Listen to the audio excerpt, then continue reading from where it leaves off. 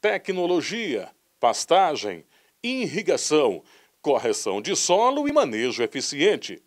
Esses foram os principais temas do primeiro Tour de Pecuária do Agreste, um dia de campo que reuniu pecuaristas dos estados de Alagoas, Pernambuco e Sergipe, com o objetivo de mostrar uma experiência exitosa na Fazenda Novo Horizonte, uma propriedade que usa a tecnologia como principal ferramenta para produzir com qualidade e eficiência. No agronegócio, o planejamento é a palavra de ordem, seja ele financeiro, produtivo ou comercial. E é o que está sendo tratado nesta palestra do Marcelo Araújo, que é especialista em gestão de pecuária de corte. O professor Wagner Pires diz que o uso da tecnologia no agronegócio é fundamental para o sucesso de empreendimentos no setor. A forma como nós conduzimos a pecuária no passado não é a forma como vai se ganhar dinheiro agora. Então, hoje nós temos que produzir mais, melhor e muito mais dentro da mesma área.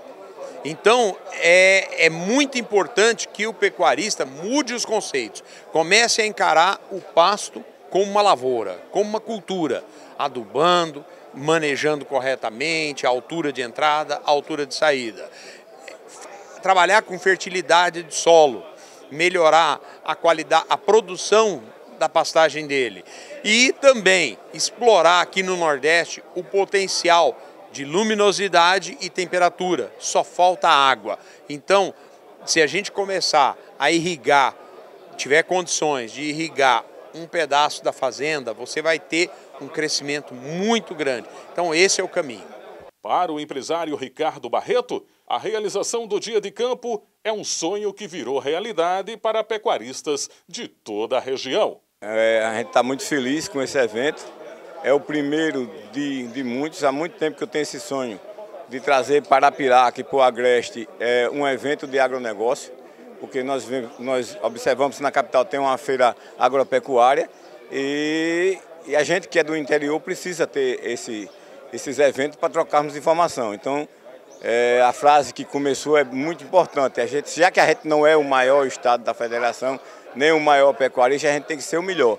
Então a ideia é essa, trazer tecnologia, trocar informação, que eu acredito que a gente ensinando aprende mais do que a gente sabendo sozinho, que a gente, as pessoas têm aqui têm um network muito grande. Então tem gente do estado de Alagoas todinho, tem gente de Sergipe, tem pessoal de, de Pernambuco aprendendo e ensinando a gente. Então é muito importante trazer isso para aqui, o Agreste de Alagoas e para para a gente que tem essas adversidades climáticas e a gente fazer do limão a limonada.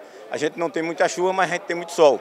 Então a gente pega na época de chuva, a gente aproveitar o máximo possível o sol que a gente tem, com a água que a gente tem e, e aumentarmos a produtividade. Mas também não podemos esquecer também de cuidar da natureza.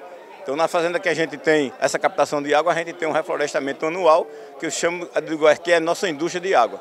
Então a gente tem, além disso, tem um bem-estar do animal, que com o manejo que nós fazemos hoje, praticamente não se usa cavalo, o animal se movimenta sozinho e dentro dos currais ninguém usa chibata, ninguém usa grito, o animal já está acostumado a um, um, os currais da gente mais modernos, são os currais anti-estresse. Então ganha o animal pela qualidade de vida, ganha o produtor pela produtividade e ganha o colaborador também que vai trabalhar com tecnologia, trabalhar menos e produzir mais. Então a ideia é essa, trocar informação para a gente crescer e fazer de Alagoas e do Nordeste um, um, um, centro de produção de carne e de agricultura para o Brasil. Já o pecuarista Palmeiri Neto parabenizou o Grupo Coagro pela realização do primeiro Tour de Pecuária do Agreste.